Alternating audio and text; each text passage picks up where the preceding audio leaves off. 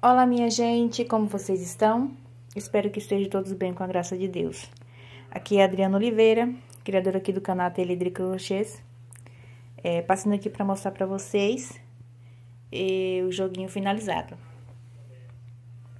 Finalizei ele, né, hoje na parte da manhã. Tô gravando aqui o vídeo, são meio-dia. E ficou assim. É o modelinho da Pat Kelly né?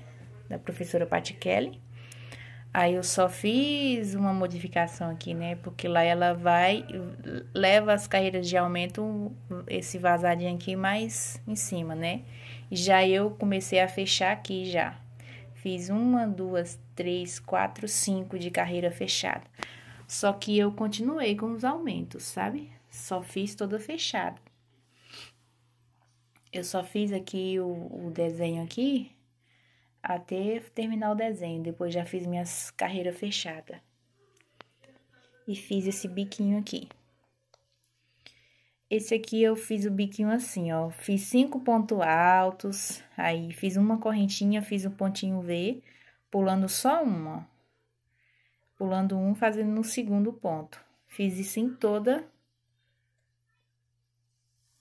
E também essas duas carreiras, Aqui, ó, essas duas carreiras no cru, eu não fiz aumento nela. E fiz assim o bico, o, o bico, né?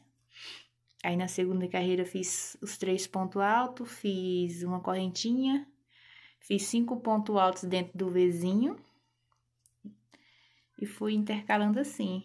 E na parte final, fiz um ponto baixo, uma correntinha, ponto alto com ponto... com picô, né? Aqui o meu picôzinho eu fiz só de duas correntinhas, pra ficar mais delicadinho. Ficou assim. Fiz dois tapetinhos. Ficaram um tamanho muito bom. Esse daqui, o tapetinho ficou 77 por 46 de largura. Os tapetinhos ficaram nessa medida. Os tapetinhos pesaram 340 4 gramas cada um. Porque ele ficou no tamanho grande, né? 77 por 46 de largura. E fiz aqui nessas cores. É, aqui eu usei a cru, da Soberano. Aqui a cor bege, da Aeroroma. Aqui a é, marrom café, né? Café da Eco Brasil. E aqui também é o amarelo forte da Eco Brasil. E ficou assim e usei a agulha 3,5. Os tapetinhos eu comecei com 45 correntinhas e fui intercalando, né? Os...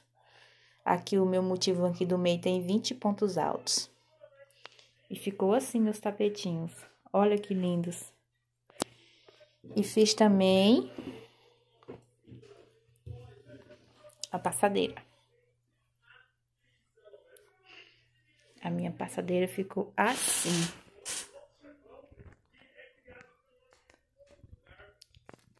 Eu fiquei muito apaixonada nesse modelo, nessa, nessas cores. Fiquei muito apaixonada mesmo. A minha passadeira, ela ficou na medida de um metro e dez de comprimento por 48 de largura. Ficou assim, minha passadeira. Para fazer esse joguinho completo, eu gastei um total de 1 kg 233 gramas de barbante, intercalando nessas cores. E ficou um tamanho bom, né? Para aquelas pessoas que não gostam de passadeira muito grande. Ficou, nossa, olha a perfeição desse modelo, cara. Eu sou apaixonada nesse modelo da Pat Kelly. Econômico, né? Deixe aí nos comentários o que vocês achou dessa combinação, dessa de cores, né? É, deixe seu like, se você não é inscrito no canal, se inscreva. Compartilhe. E esse tapete bom dele aqui, jogou, ele ficou, né? Eu sou apaixonada nesse modelo. Olha que perfeição esse jogo. E aqui você pode brincar com as cores, né? Faz o cru aqui, põe vermelho, bordô, amarelo, bordô, vermelho e vai intercalando essas cores que fica linda, né? Tons de rosa, tons de azul. Imagina um azul aqui, um azul royal. Aqui bota o azul marinho, o azul claro. Nossa! Eu amo esse modelo por causa disso, que dá para brincar com as cores. Pois é, eu passei por aqui para mostrar o meu joguinho finalizado. E meu próximo vídeo vai ser de uns lindos barradinhos que andei fazendo de um kit semaninha. Vou mostrar para vocês no próximo vídeo, viu? É, beijos e fiquem todos com Deus. Tchau, tchau.